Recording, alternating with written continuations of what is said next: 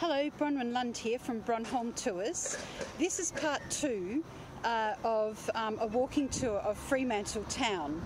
Um, I'm just uh, going to uh, walk up the street of my old university and then around to the roundhouse, which was actually a holding bay, a holding bay prison. Uh, for people who are going to be transported out to the island of Rottnest, which was a prison island back in the day, and then um, up along the um, up along the uh, shore uh, of the uh, of the Indian Ocean. Um, so uh, I really hope you enjoy the tour. Part one of this tour starts up at the Town Hall Square and uh, goes around um, to the uh, football oval and uh, past the markets and down the main street of, uh, of Fremantle town. Now, Fremantle was established in the early 1800s as a British colony, and um, it uh, struggled a bit for a few years. Um, and then um, they finally capitulated and brought in convict labour. They didn't want convict labour in the beginning. Um, this is the hall of Notre Dame University, or Notre Dame as it's called in American and um, that's actually where I graduated with my my master's degree many moons ago. So I spent a lot of time on this street, walking up and down, from the library to the lecture theatres. And I think what the um, university has done, so this is the library and a rather nice courtyard, and there's lecture theatres and study rooms off the courtyard uh, where I spent a lot of time. And um, the university has done a really fantastic job of um, of renovating the buildings. Just noticing the high security on that camper van. So that's the University of Notre Dame, Australia. I did actually do some of my master's studies um, in the US at uh, Notre Dame in uh, Indiana, and that was that was a really cool experience. So this was another entrance over here that I used going into the lecture theatres.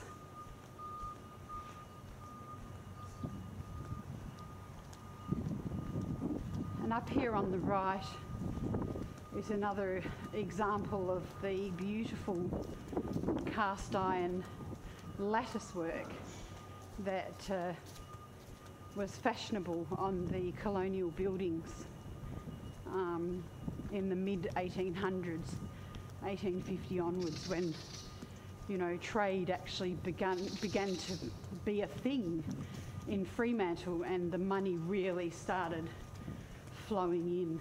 So and all of these buildings are merchant buildings, trade buildings, banks. That was a bank there on the right hand side, but that's now been taken over by the university.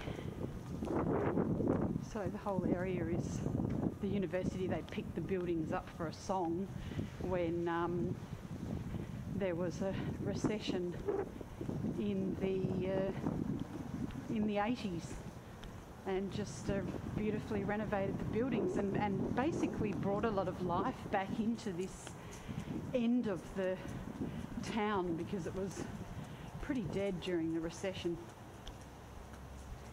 And um, now there's quite a lively student life and cafes and so it's really brought a yeah university a university town feeling to um, to Fremantle, which is just what it needed.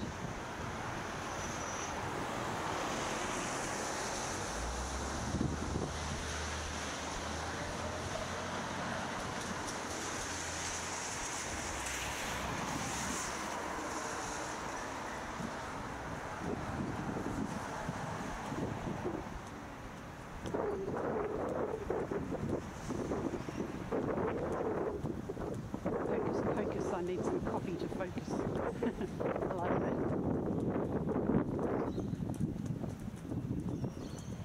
Right, so they've actually opened up the tunnel that's underneath the roundhouse.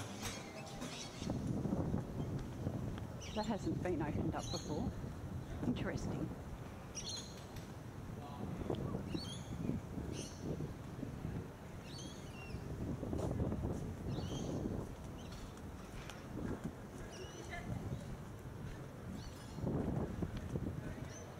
So we're now uh, entering the Bathers Beach precinct, getting closer to the beach.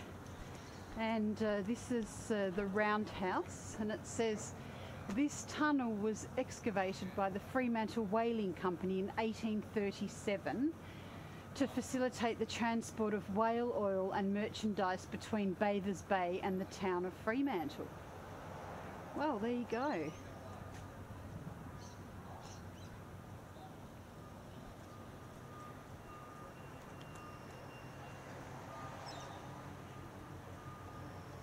Several major Aboriginal pathways met in Fremantle.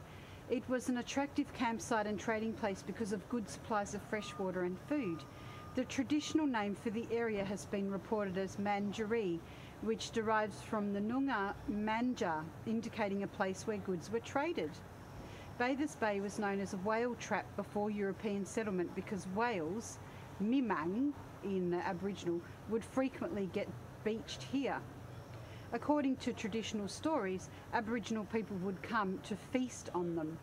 Aboriginal prisoners were held here between 1839 and 1903 before being transported to Rottnest, which is the island off the coast here, to serve sentences. So the picture there is how it looked um, in 1863. Captain Stirling named Arthur Head in 1829 after Lieutenant Governor George Arthur of Van Diemen's Land, which is now Tasmania. The photograph shows 19th century buildings on Jail Hill. From the left is the first courthouse, the roundhouse, a flagstaff, the first lighthouse, and the second courthouse. On the lower level and either side of the roundhouse steps is the former police station complex. So it was quite the uh, prison complex for, yeah, keeping Aboriginal prisoners for whatever trumped up crimes they were thought to have committed. Poor people. So we'll just pop up the stairs here. It's quite a good view actually out across the ocean.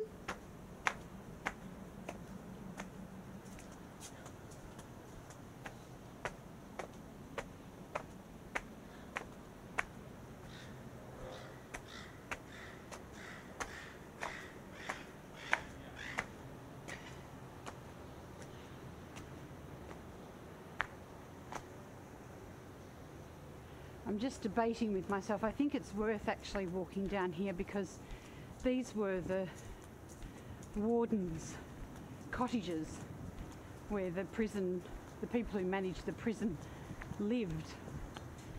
And even though it's got a rather dreadful history, they are really quite lovely little buildings. I think it's worth taking a little detour can also see over to the right the port and the river, the Swan River that feeds into the Indian Ocean. So it's just a little detour of the warden's cottages.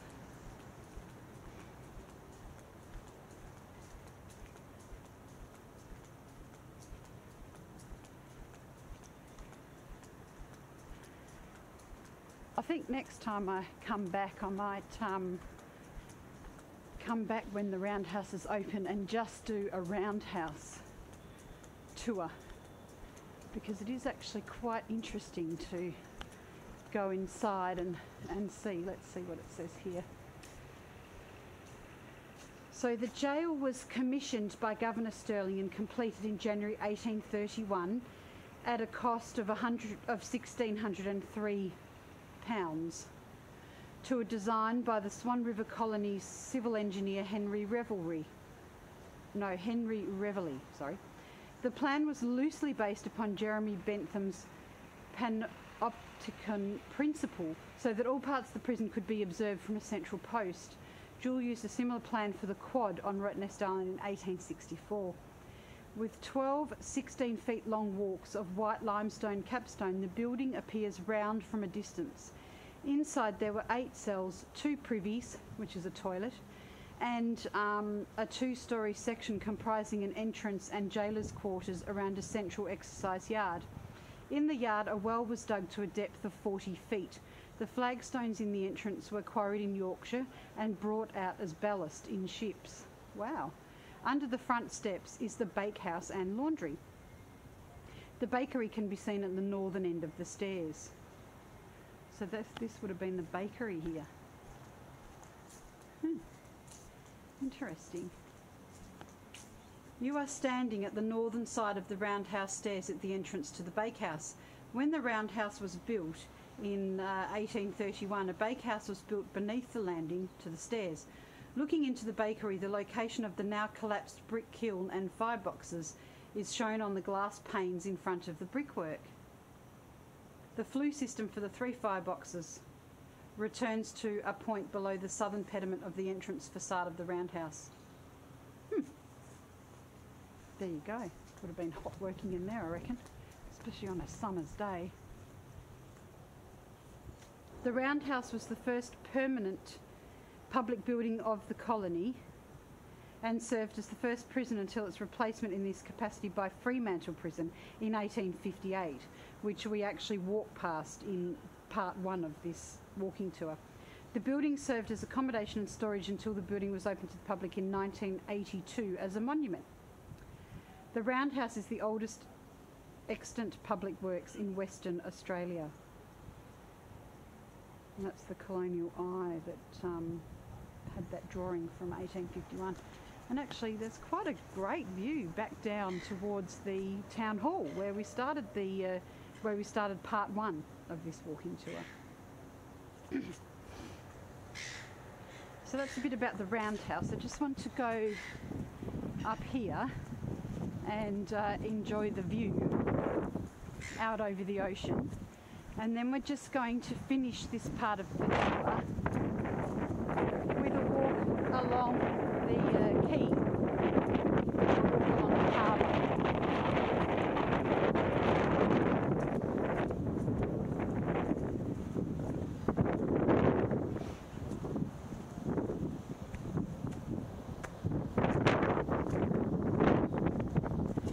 Over to the right, that grey building is the Maritime Museum. And I haven't actually been there, but I've heard very good things about it. So I must get there one of these days. And here we are looking out over the coast, over the Indian Ocean. And that's Bathers Beach down to our left there. We're just going to walk along there in a minute. And uh, out to the right, right out to sea, is Rottnest Island. And uh, over to the left, the very, very large island you can see there is Garden Island. That's a defence uh, base now, a military base. Uh, and then straight ahead, I thought was Seal Island, which I've called it on some of my other walks. But apparently it's not. It's an island that no one goes to, excuse me, because it's full of snakes. So Island, right over there to the right, right out on the horizon, that's where the prisoners who stayed in this roundhouse were transported to, and there was a prison, an island prison out there. So it was pretty, pretty nasty times for um, for the Aboriginals of this country at that time.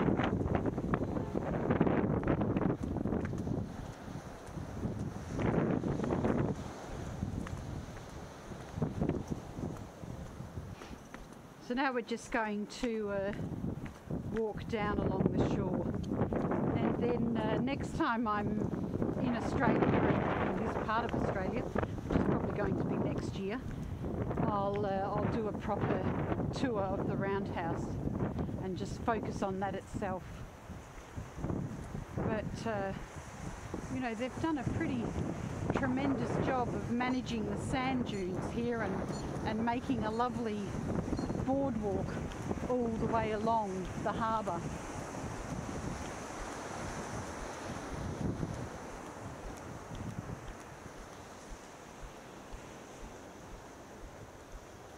I'll walk down on the beach so we can have the nice sound of waves for a few minutes as part of this tour.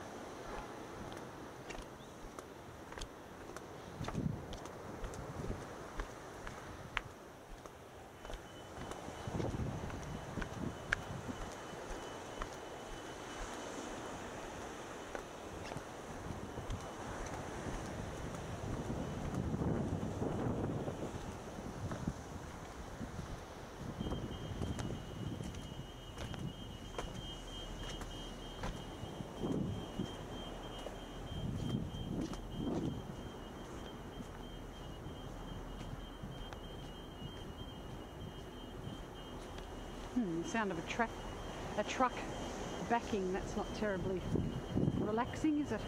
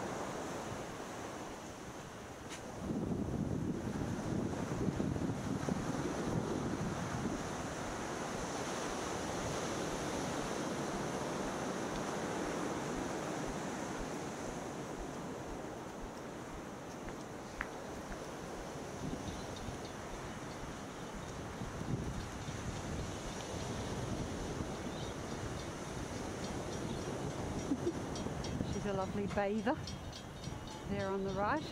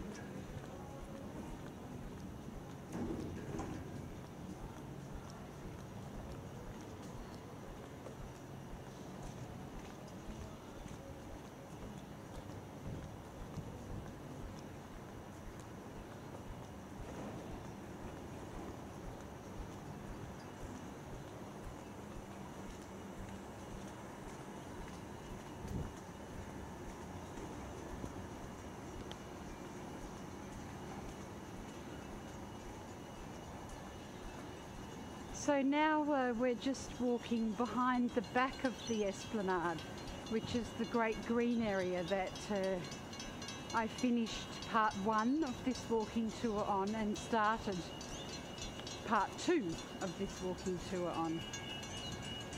And uh, this is just a memorial to the fishermen who have contributed so much to the wealth of this colony um, and town as it became and now city.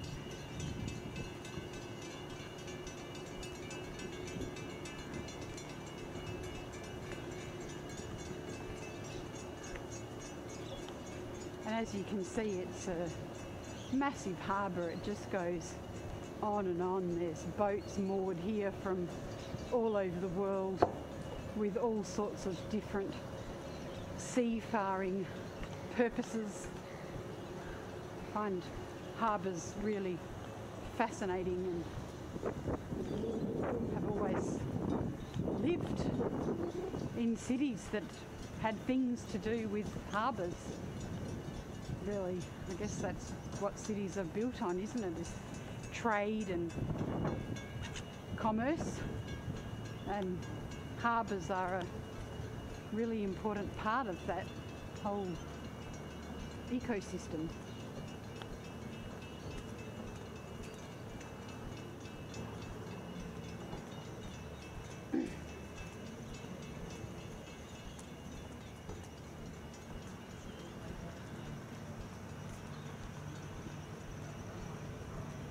Right, so the boardwalk ends just up here at one of my favourite pubs called Little Creatures. It's actually a brewery where they have a pub section and restaurant, which is a great place to come and eat. And um, they've exported beers around the world, really. They've been a huge success. So, sounds like they're already open. They're probably open for breakfast. But anyway, I'll leave it here on this walking tour of Fremantle. It's Bronwyn Lund signing off from Bronholm Tours. I hope you enjoyed the tour. Bye for now.